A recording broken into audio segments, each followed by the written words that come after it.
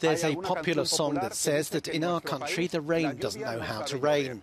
Either it rains a little and there's a drought, or it rains a lot and there's a disaster. For centuries, we've lived by learning to live with the constraints of water supply.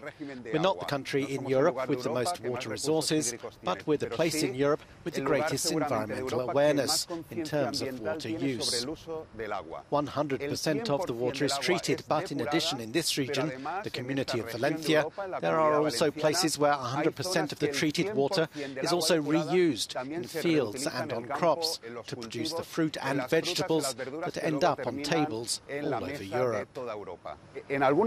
Some buildings used to have outside toilets.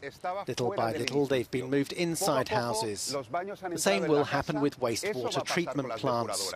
Nowadays, they're generally next to rivers. Some rivers start where water from the sewage plant comes out. But it wouldn't be surprising to see wastewater treatment plants inside cities, because it's a public service that gives us water, that gives us energy, and that we need, in the same way we need inside toilets. There are places in the world where the water that comes out of treatment plants is drinking water. This isn't the norm in Europe. We don't think it will happen.